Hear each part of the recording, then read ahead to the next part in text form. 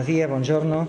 Sí, bueno, eh, es correcto, eh, la semana pasada estuvo eh, acá en Mercedes el señor cónsul general de la circunscripción La Plata, que es importante que nos, nos recomienda siempre que hablemos del tema que digamos un poco la currícula que él recorre, son 58 localidades de la provincia de Buenos Aires, de las 134 creo que son. 135. 135, 58 que las tenemos registradas, son las que recorre el cónsul general de La Plata. Ahora bien, al respecto debemos decir que el señor cónsul debió haber comunicado al comité su presencia. El comité es el organismo que representamos de acuerdo a la ley italiana por el cual fuimos votados y yo soy un consejero de ese comité, es importante también marcar que estamos por sobre la agencia consular, nosotros somos quienes deberíamos de alguna manera custodiar la agencia consular que hay en Mercedes.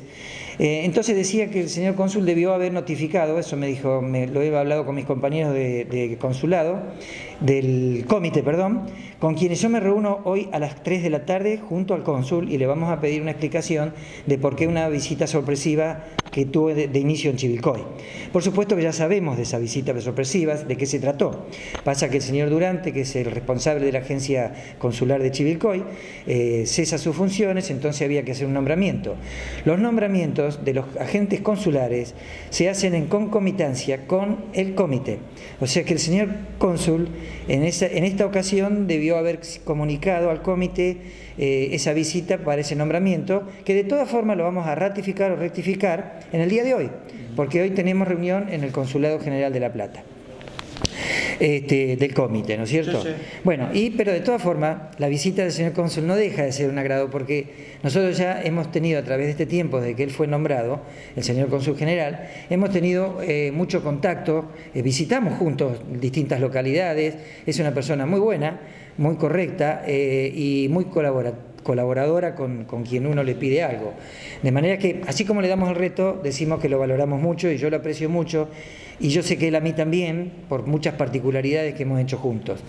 Este, bueno, sí, y nos, llenamos de alegría porque ya, le, ya te digo, eh, eh, enseguida convoqué a, Bueno, fuimos primero a ver al señor Intendente, que también debo agra agradecerle por los halagos que hizo hacia, hacia la persona, primero hacia la institución de la sociedad italiana y luego en particular hacia mi persona con respecto a nuestro proceder con la colectividad italiana, que hacemos todo lo posible para colaborar intensamente sin querer competir con ningún con nadie, en el caso del municipio, muy por el contrario, nosotros somos de colaborar. Lo mismo queremos colaborar con, con, la, con la Liga Mercedina de Fútbol en lo que sea. ¿eh? Este, que ayer íbamos a llamar al, al, cambio, hago un paréntesis al DT, hago el llamado de Club Mercedes Blanco, ¿es? Sí. Bueno, ayer le pedí a Eduardo el teléfono porque queremos convocarlo para algo particular al respecto. Bueno, y este, enseguida, bueno, visitamos al intendente, decíamos lo de, lo de la felicitación y bueno, hubo un intercambio de, dar a conocer unos a otros las actividades de Mercedes, en cuanto ya municipalmente también, lo hizo el señor intendente, le explicó una serie de cosas, como por ejemplo, le habló de los, de los programas de la niñez que están llevando, llevando adelante, cómo trabajan los CAPS, en fin, todo lo que hace el municipio.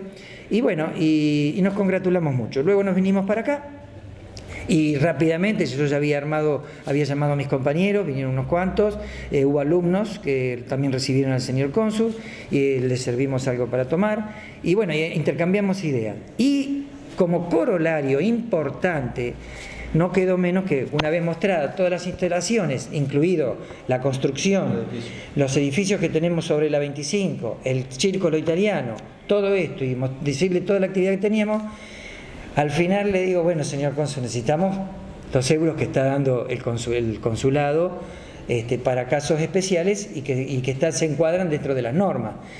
¿Y qué querés vos? Y por lo menos 10.000 euros.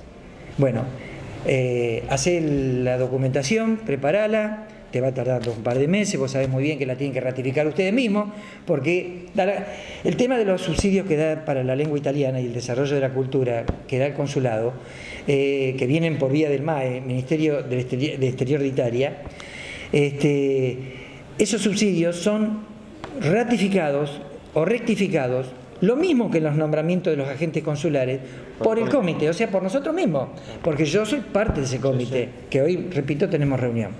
De manera que él dijo que va a dar el traslado al comité, yo ya hablé con mis compañeros, todos me dijeron que sí, y bueno, vamos a esperar esos 10.000 euros. Así que estamos muy congratulados con todo esto.